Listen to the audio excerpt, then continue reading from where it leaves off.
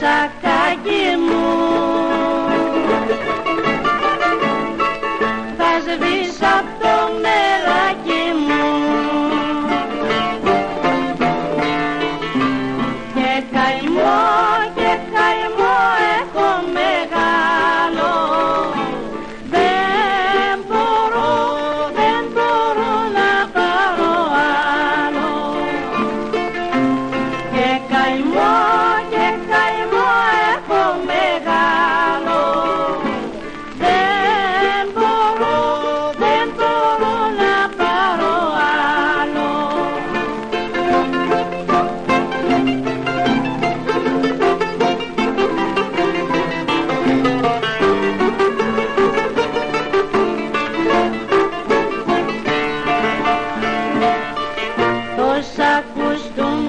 χαρίσα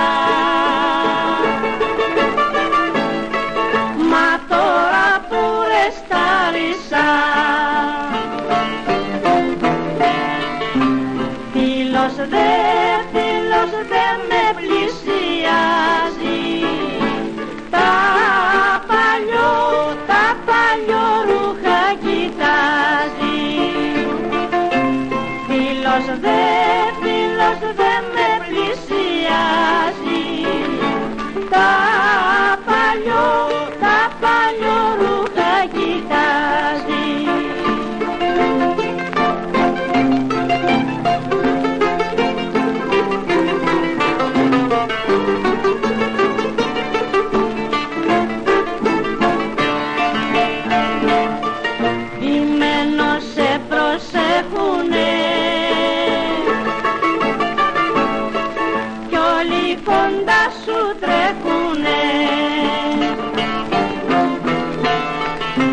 San Palo.